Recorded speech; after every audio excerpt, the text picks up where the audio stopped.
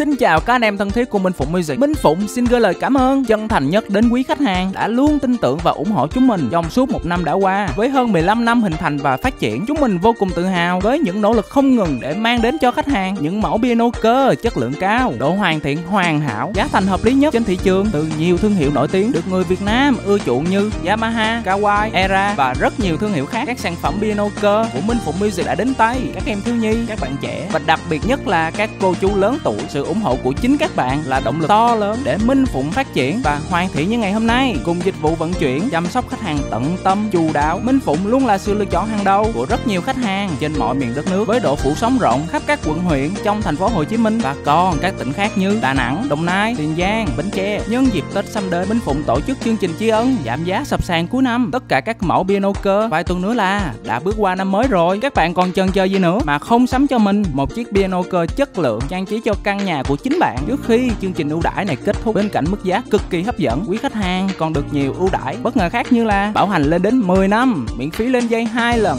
một đổi một trong 30 ngày nếu phát sinh lỗi, giao hàng và lắp đặt miễn phí. Cảm ơn các bạn đã luôn dành những lời khen, góp ý chân thành để chúng mình ngày càng hoàn thiện hơn. Minh Phụng Music xin ghi nhận và trân trọng những đóng góp đó. Minh Phụng cam kết sẽ tiếp tục nỗ lực mang đến khách hàng những sản phẩm và dịch vụ tốt hơn nữa. Cảm ơn các bạn đã xem video. Hãy dành tặng cho Minh Phụng những nút like, share, subscribe ủng hộ tụi mình nhé. Để tham quan và trải nghiệm các mẫu piano cơ yêu thích, các bạn hãy ghé showroom hoặc liên hệ qua hotline 0919768606 để được nhân viên bên mình tư vấn cụ thể hơn. Xin chào và hẹn gặp lại.